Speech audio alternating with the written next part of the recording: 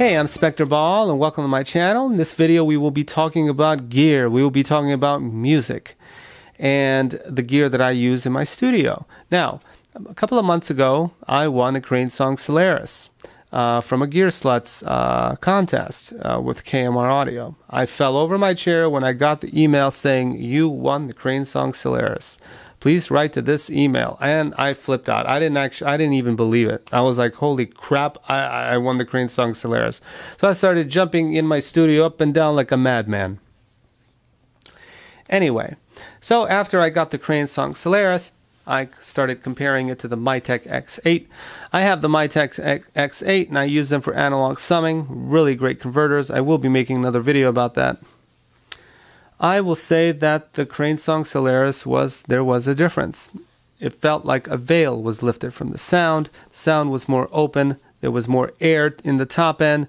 The mid range had a, a much um, wider stereo field. It felt more wider, also the low end felt more extended. Also, it just sounded pleasant.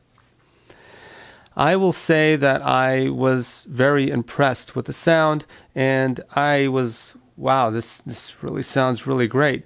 But the test is for me is how does it work when I'm mixing? Is it going to make my life easier? And the great news is that it does make my life easier. I didn't have to do broad EQ strokes when using this converter. I did a little EQ here, a little EQ there, a little EQ here, and I got to where I wanted to go. Now I don't want to mix without it. It has an AES out, it has a USB out. I use the AES out because I like everything connected to one card. The USB does sound a little bit better, and I think because um, its clock uses 32 bit, I'm not really technical into this stuff, so I can't really tell you. Um, there's two um, outputs. There's the main output and also a secondary output. I use the secondary output because I have a dangerous ST monitor controller. But if you don't have a monitor controller, it has its own knob to control the volume. Also, there is a knob to control the headphones.